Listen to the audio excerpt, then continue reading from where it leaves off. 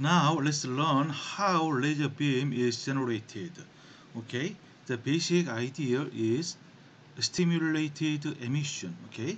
Uh, this left figure shows the uh, electronic energy levels okay? E0 e1 e2 and e3 okay? Let's let's assume you know the electrons on this e0 ground state level is pumped okay?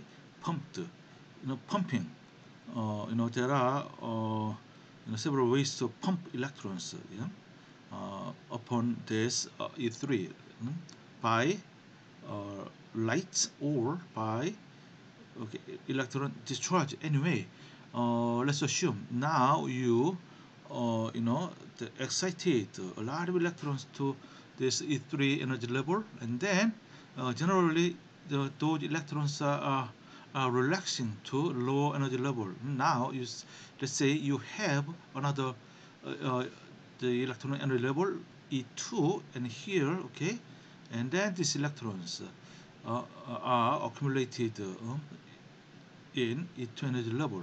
And then here another electronic energy level E1, okay, and what? And by pumping electrons to E3 and then uh, by relaxation uh, electrons are moving uh, to E2 and then um, there, there will be mm, population inversion okay? And then electrons on this E2 energy level have relatively long lifetime and electrons in E2 energy levels on is much larger than the electron number of electrons the population okay? In E1 that is called population inversion okay? Yeah. And then uh, to uh, generate laser beam you need um, to another uh, you know the, the, the light okay? Hmm? the, to stimulate uh, this emission okay?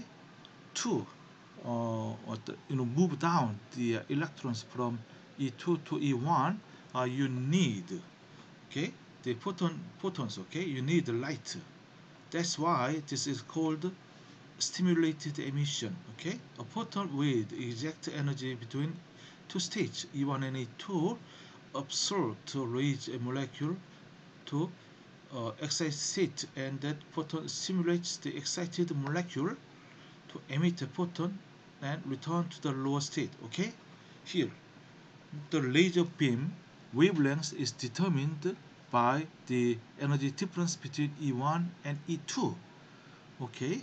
Yeah. And then once the electrons are uh, what? They excited to uh, the, is uh, moved to the lower uh, energy level E1 and then this, these electrons now relax to the original E0 uh, the level and then again it is uh, uh, pumped to E3 and then these you know action continues okay? Yeah. So you know to induce this laser action okay? you need another light right? Since E1 and E2 energy level levels are you know already already set at a very specific uh, you know the uh, hmm, energy. So the wavelength of laser okay is very very accurate because E1 and E2 doesn't change okay? Yeah. when a photon emitted by molecule falling from E2 to E1 strikes another molecule in E2 hmm, and second photon is uh, emitted okay? Yeah. So so uh, to generate laser beam you need you know these energy states okay? So there have been developed a lot of different lasers okay? The helium neon laser for example it is very common source of red light because it generates monochromatic light at 632.8 nanometers okay. And then its power is 0.1 to 25 milliwatt. This power is a lot. Okay now turn to the monochromators yeah? light dispersing into its component uh, wavelengths okay. That's the uh, uh, you know the how to uh, select monochromatic light. You know ordinary as I said ordinary light source you know generate continuous uh, light over a certain wavelength range. So you uh, first select the specific wavelengths using a monochromator okay? So selecting a narrow band of wavelengths to pass sample and detect by rotation of grating okay? Uh, to make a monochromator the essential part is this one grating okay? Grating uh, is very uh, essential part you know, uh, you know uh, prism is is an analog is an analog of uh, reflection grating okay? But uh, in modern instrument uh, people uh, don't use a prism anymore because prism the uh, no?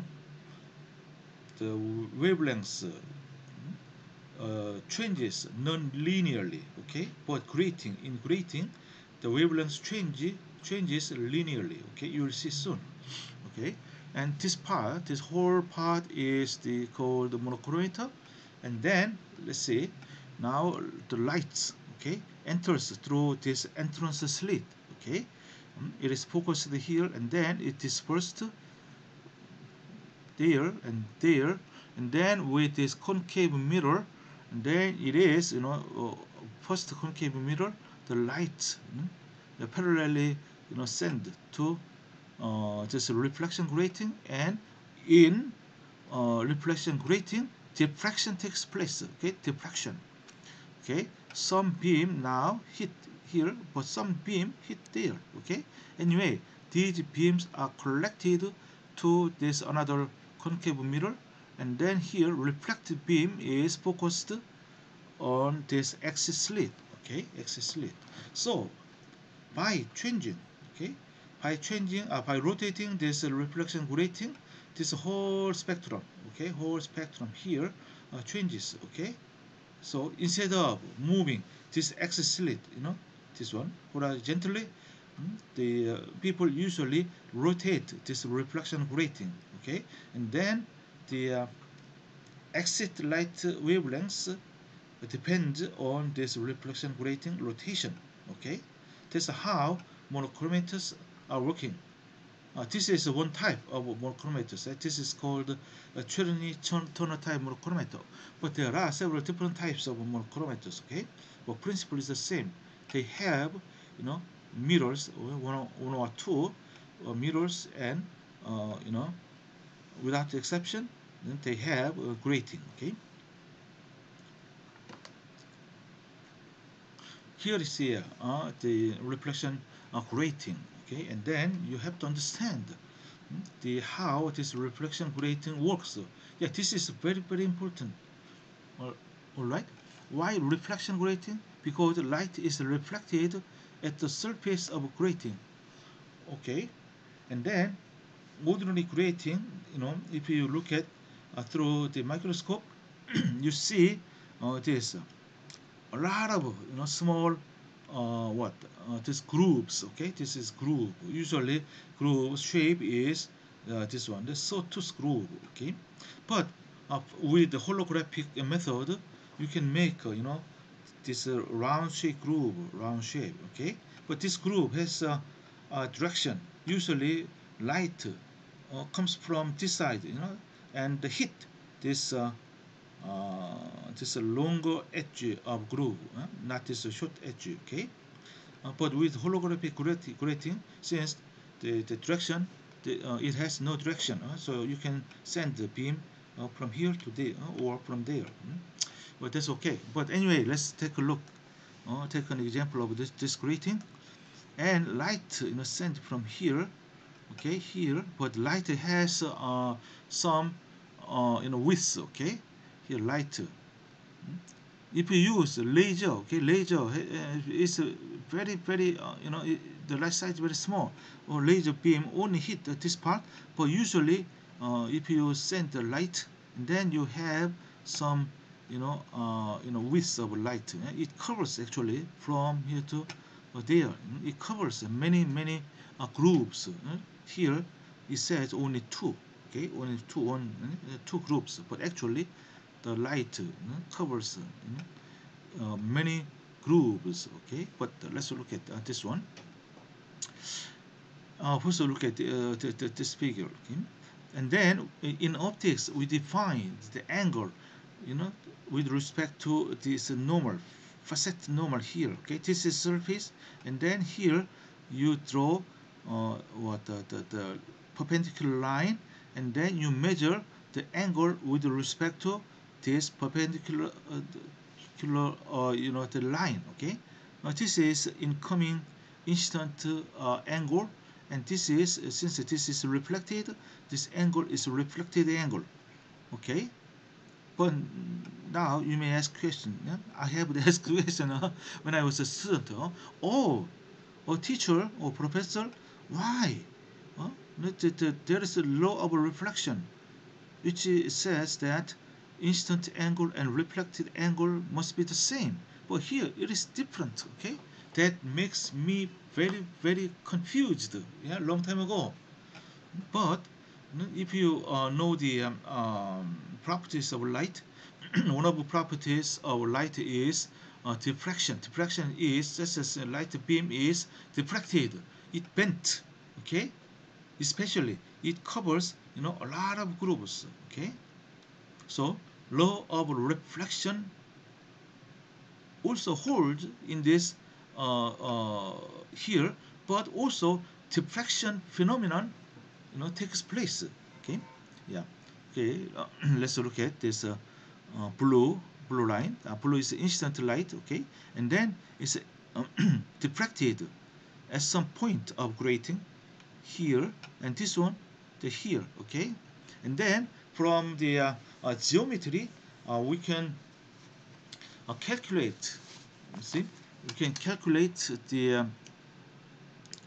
uh, the difference in light path okay? You know the same light comes here and it hit here but another light you know hit this one. And then it's uh, diffracted there okay and then this one hmm? this light hmm? what this light travels you know longer distance than this one okay and then if you uh, after you calculate the difference in path hmm? and here t is the you know the distance between grooves okay and it can be written by this one okay it can be uh, written using this one uh, theta yeah? This is theta is the angle uh, of uh, what? This theta is the angle of this uh, you know this is this line and this uh, you know horizontal line. And phi defined as angle okay with uh, between this line and uh, th this beam okay? Anyway using theta and phi uh, you can calculate the difference okay? The path difference. And if that path difference is the multiple uh, multiples of wavelengths then the constructive interference takes place okay? Yeah. and this one uh, this uh, this equation is called uh, grating equation okay? And then what? And when you rotate grating and then these angles are changing okay? Yeah. And then light is dispersed okay? Here if you put uh, you, you put a white uh, the paper and then you can see very beautiful spectrum mm, of visible light like a uh, like a what the, mm, the rainbow okay? Here if you put your paper here you know nothing only white light you see but here after diffracted from this grating this one wavelength is uh, this uh, what the, hmm? the each wavelength can be uh, distinguished okay? So you see the you know kind of a rainbow image all right? Yeah. So the the persistence difference is a minus b hmm? this one is a here and the b okay? The difference uh, yeah is given by this equation and if this is multiples of you know, wavelengths and then it is said that it is constructive uh, interference okay? How do you make a grating? Yeah, grating uh, originally was made of uh, aluminum because aluminum reflectivity is high uh, in UV and visible range okay? Or you can make a grating with uh, plastics okay and then you coat the, the, the surface with aluminum okay? Here let's uh, uh, you know, now learn the interference of waves okay? Oh, here are two waves. This wave and this wave they are uh, they have same phase uh, they are called in phase okay? In phase constructive interference occurs. As you simply add these two waves and then you can have you know uh, the more intense beam okay? But if uh, the phase is out of phase okay? Let's say mm, the 90 degree out of phase and then this one is the reference and this one is uh, 90 degree is moved and uh, shifted and then you get know, this uh, this wave. But if the phase is completely out of phase okay 180 degree out of phase and two waves uh, are cancelled out each other and then you know here nothing. Yeah? nothing happens okay yeah. That's the uh, basic uh, you know pattern of interference okay okay let's uh, uh, let's learn uh, more about the, the, properties of gratings okay and then grating has you know uh, many properties and first the resolution yeah? the good grating has high um, resolution. The resolution is the uh, ability to separate two closely uh, spaced peak okay? Now your sample have you know very closely spaced peaks okay? So those peaks must be distinguished. And then you have to have high resolution grating okay so uh, the definition of grating resolution is given by this one you know this large r uh, equals lambda over delta lambda okay? And delta lambda is uh, is equals n n you know? N is what? Large n is a number of grating per centimeters okay? So each centimeter you uh, make uh, grooves okay? Usually uh, several thousand grooves per centimeter okay? There are many many grooves right? Yeah. And is an integer okay? One two or three right? like that. And then lambda is the uh, average of two closely uh, spaced wavelengths okay? And like that. And dispersion also you you can uh, define. Dispersion is ability to separate wavelengths differing by delta lambda okay through the difference in angle. All right? Difference. Dispersion. So some grating has a uh, you know high dispersion which means that you know incoming light is di di dispersed. So you know, with wide angle. Okay? Hmm? and then you can easily select a specific wavelength. Okay. So dispersion of grating is defined by this equation. Okay? Uh, you, yeah, yeah, you don't need to memorize uh, this one. Uh, you just uh, uh, appreciate this equation. Okay? Uh, the dispersion of grating is given by this one delta phi divided by delta lambda. Phi here is what this one. Okay, this is delta phi. Okay, yeah. If delta phi is large and then a diffracted beam dispersed with large angle and then you know uh, wavelengths you know, you know specific wavelengths can be selected easily okay? And divided by delta lambda okay? This is the uh, dispersion of grating. And equals it equals n over t cosine phi okay? Yeah this one. Here is an example. Wavelength differing by one micrometer okay? Separated by angle of 5.8 uh, degree okay? Which is 0.102 radian if n is 1 yeah, this is uh, you know the most strong uh, diffraction takes place and pi uh, is 10 degree and uh, 1000 grooves per centimeter. In this case, dispersion is is one micrometer. Okay, uh, I think this is enough mm, for ordinary spectroscopy. Okay, decrease in exit slit. Okay, so you uh, in this um, let me see. In this wave uh, the, the micrometer you have two slits. Entrance slit exit slit by changing you know the size of you know slit you can uh, control the uh, the resolution. Okay. Or, or the bandwidth of uh, radiation. Okay. Usually you we people usually uh, control the exit slit size okay? Decrease in exit slit means decrease in bandwidth of radiation. Decrease E reaching detector okay? If you decrease exit slit you know small uh, amount of light enters the uh, detector okay? So then maybe uh, the noise level will increase okay? But but resolution increases okay? If you decrease the exit slit you know width okay? So resolution is achieved at the expense of decreased signal to noise ratio all right? Yeah. so if you want to have a very very clean a spectrum and then you have to open wide the exit slit but and then you sacrifice the resolution.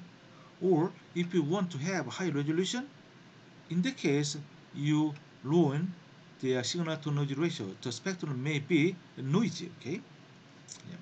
for quantitative analytical uh, measurement bandwidth uh, which is equal or less than 1 1 over fifth of width of absorbance band is reasonable okay? Yeah this is the general guide okay? The narrow exit slit the greater resolution the noise signal okay? Okay here is the efficiency of grating okay? The efficiency of grating is defined by this equation okay? Um, this E sub lambda is radiance at the specific wavelength okay? Uh, this uh, E lambda uh, uh, at grating divided by lambda at the mirror okay? That's the relative efficiency. Here this n means the order of uh, diffraction. The one is the strongest diffraction occurs okay? And then two is the second order okay? It's which is which is much weaker than the when n is one okay? efficiency is controlled by blaze angle in grating cut okay? Efficiency is you know, this part uh, you, you you simply accept you know there, there is a blaze angle. Okay blaze angle here oh, is, is this one. This is uh, called the angle. You know by changing the blaze angle or to change blaze angle uh, what you can do is that uh, you uh, let's say uh, you have the uh, distance between uh, each group okay? Yeah. Anyway uh, the efficiency is controlled by the blaze angle. To direct a certain wavelength into the diffraction order of interest the blaze angle is chosen such as alpha equals beta because the condition gives a maximum reflection yeah this one is what? This is the condition for uh, what? Uh, re uh, reflection okay each grating is optimized for a limited wavelength uh, limited wa uh, range of wavelengths okay? So with one grating yeah you cannot you cannot cover the whole spectrum of IR or UV visible okay? Uh, one uh, one grating covers a certain range. Hmm? so you if you cover the another range you need another grating yeah? So spectrophotometer may require several gratings to scan through its entire spectral range. Efficiency here is partially controlled by the blaze angle. Specular reflection uh, is a reflection from a flat surface when the angle of incidence is equal to the angle of reflection. That's the law of reflection okay? The law of reflection holds. But as i said the grating has many many grooves yeah? Hmm? over the you know very short range and not only reflection but also diffraction takes place on the surface of a grating. That's why you know the light dispersion is possible. Each grating is optimized for a limited range of wavelengths okay? Yeah here is the choice of a grating okay? Let's see. This figure shows the efficiency as a function of wavelength. okay? And let's see. Uh, this one uh, this grating covers you know the wavelengths of uh, let, me, let me see maybe uh, from 1200 nanometers to maybe 24 nanometers okay? But this grating cannot be used for visual uh, range measurement okay?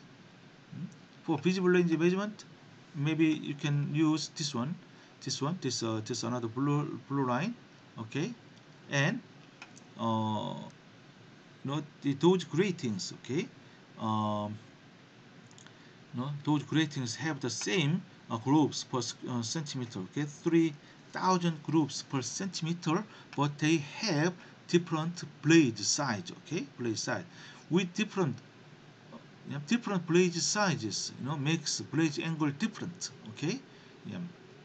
This this one blade size is only 300 nanometers and and then they have a different blade uh, size okay? And it determines the, the blaze angle okay? Yeah we although the groups number is the same depending on blade size okay? Or depending on the blaze angle the covered wavelengths uh, are different okay